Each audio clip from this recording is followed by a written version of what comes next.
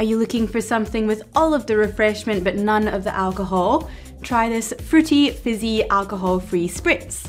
Perfect, so for this little guy, I'm just gonna um, slice up some strawberries. And then into my wine glass, I'm just gonna go 60 mils of the Little Lyre's Italian Spritz. So about 60 mils, or you can just kind of top it up, um, sorry, so about halfway up the glass.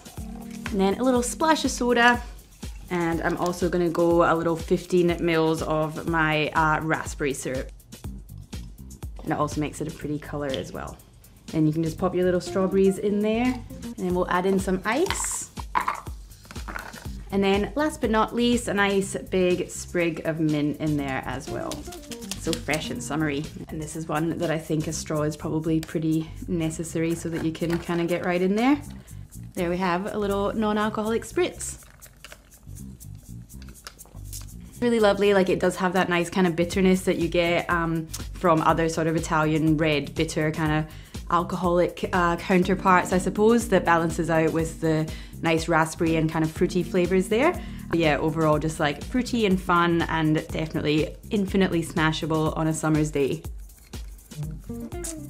So now you know.